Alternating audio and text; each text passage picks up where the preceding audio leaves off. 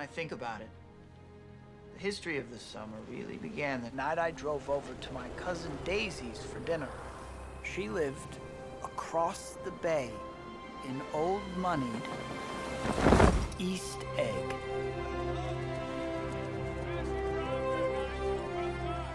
Her husband was heir to one of America's wealthiest families.